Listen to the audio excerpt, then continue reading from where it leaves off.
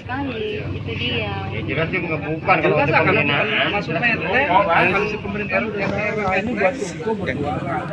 Keras. Kita kembalikan fungsinya itu aja kita. sebenarnya maksud bapak-bapak ini apa keberatan Ya keberatan keberatan kita. keberatan dalam hal apa Keberatan satu. merasa terganggu Berhenti. Tindakan seperti ini tidak boleh dibiarkan. Periksa orang ini. Apakah ada tindakan melanggar hukum, tindakan pidana, itu urusan belakang. Yang penting kelompok seperti ini harus diperiksa. Harus di BAP. Karena orang-orang seperti ini tidak berhak untuk tinggal di negeri ini.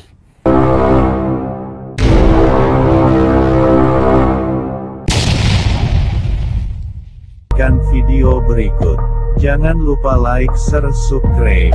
Meta sekali itu dia Ya jelas dia ngebukan kalau Jelas untuk lah kalau masuk mente, ngebukan. kalau si pemerintah udah ini buat hukum berjuara.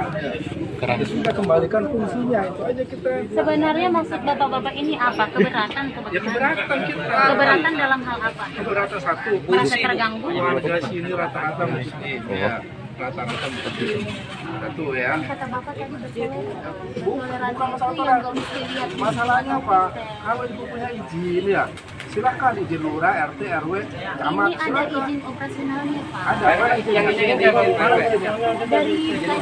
Nama izin yang izin itu izinnya mana nggak jelas. kan sudah ada di desa pak. Izinnya ke desa. Izin dari mana? Dari mana? Izin dari mana? Izin ada apa?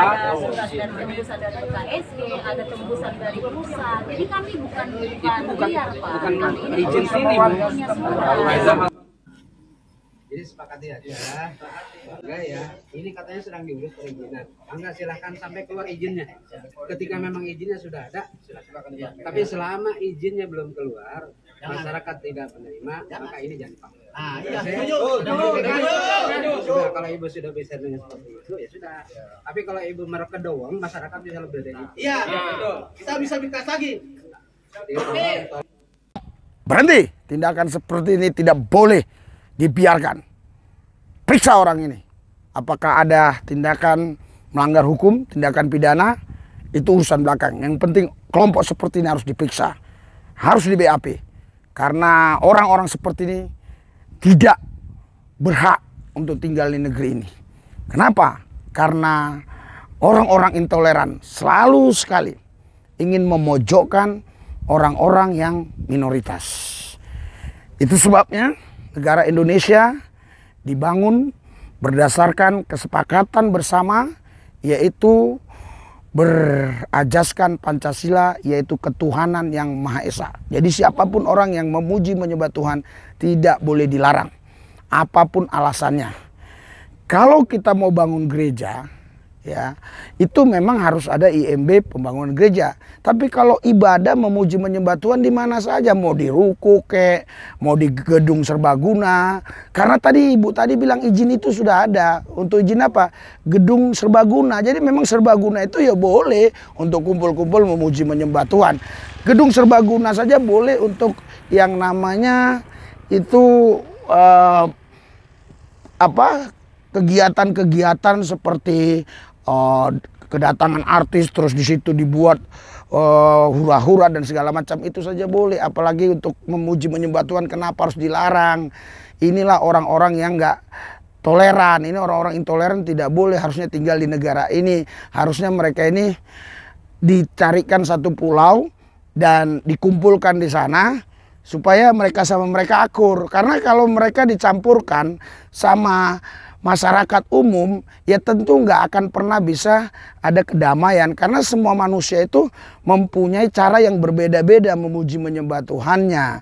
Mempunyai iman yang berbeda-beda satu sama lain. Sehingga kita harus toleran. Walaupun mungkin di hati kita wah itu tidak seakidah dengan kita. Di, di hati kita itu oh tidak sesuai dengan keyakinan kita. Tetapi kita nggak berhak untuk melarang orang meyakini sesuatu. Melarang orang untuk menyembah memuji sesuatu. Asal dia tidak anarkis asal dia tidak buat rese asal dia tidak buat rusuh asal dia tidak mengganggu orang-orang yang ada di sekelilingnya. Saya tahu betul itu di Cilincing itu ya. Jadi di eh sorry bukan di Cilincing, di Cilingsi ya. Di Cilingsi itu saya tahu betul. Jadi di Cilingsi itu itu uh, di ruko-ruko itu jelas ya masyarakat yang di samping kiri kanan itu tidak terganggu. Nah, tetapi orang yang dari luar yang datang, saya tahu persis itu kalau di Cilingsi yang ruko-ruko tadi itu itu dibuat gereja orang-orang di sekeliling situ malah kebanyakan orang Chinese. Mana ada orang-orang yang seperti tadi yang kelompok-kelompok datang itu? Itu kan orang-orang luar yang datang ke situ ya. Ya walaupun memang mungkin masih masuk kelurahan dia tetapi bukan di wilayah ruko-ruko itu rumahnya. Mereka itu di luar ruko-ruko itu saya yakin bukan di wilayah ruko-ruko itu. Saya percaya itu. Saya duga sedemikian ya.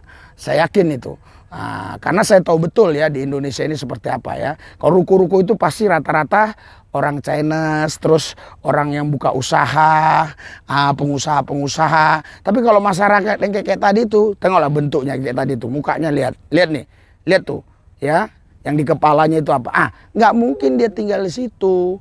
Itu nggak mungkin. Ini orang luar datang, walaupun itu satu lurah sama dia, satu kelurahan. Nah, orang-orang seperti ini kan nggak boleh dibiarkan terus-menerus. Apalagi perintah Pak Jokowi kan tidak boleh dilarang orang memuji, menyembah Tuhan dan beribadah. Waktu itu setelah saya kantor masalah yang terjadi di Medan, terus Pak Jokowi itu pidato tuh, ah, hati-hati ya, wali kota, hati-hati ya, ya pemerintah setempat, ya, baik itu Kapolda, Kapolres, wali kota, hati-hati uh, tentang beragama ini karena kita negara Republik Indonesia berbagai macam suku, berbagai macam agama, berbagai berbagai macam ras dan sebagainya dan sebagainya. Ini kalau nggak dijaga toleran ini antar kerukunan umat beragama ini tidak dijaga, ini jadi masalah. Ya, pasti jadi problem. Makanya tidak berhak ini kelompok-kelompok ini untuk melarang yang seperti itu. Ya, harus cepat diperiksa, harus dicari tahu apa motif mereka. Ya saya menduga, saya menduga, boleh dong. Saya menduga karena nggak kecipratan aja. Coba ini orang-orang dikasih uang. Ya nggak mungkin seperti itu. Jadi saya menduga hanya nggak kecipratan aja.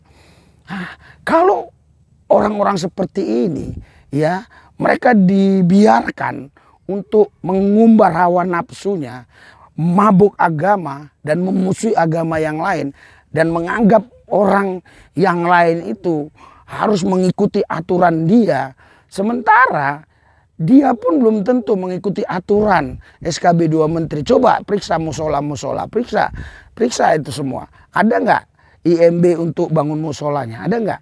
Iya, ya coba periksa. Jadi jangan orang-orang kelompok seperti ini ini uh, merusak tatanan kita yang sudah baik seperti ini.